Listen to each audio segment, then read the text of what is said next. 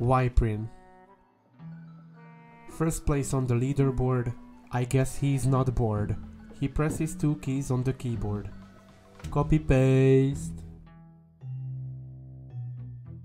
Serponge. Creates new effects and awesome levels too. For example, Acid Rush 2.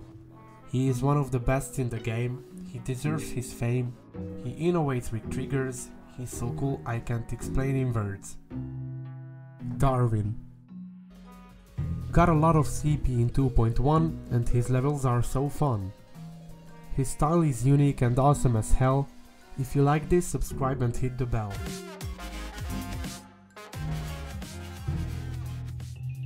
Skitten.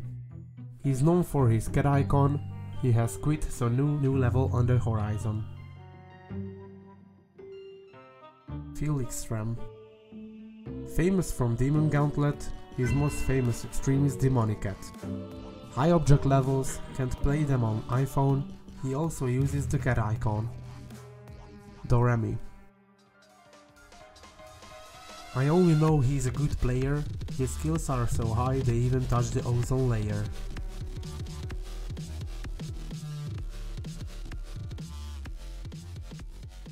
Lemons.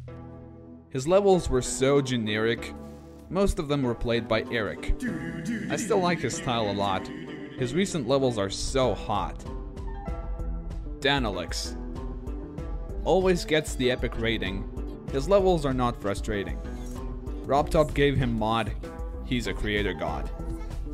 He's a legend from GD World, the only one. I can't tell a bad word about him. Can anyone? Jonathan. Focuses on length and quality too. My favorite from him is of course DD2. What's there at 99? A new fail is on the line. Alkali. His unique style and hard layout always makes me go and play out. RobTop. He makes updates every thousand years. This is why our eyes are in tears. There should be a brand new update already, but for some reason there's not any.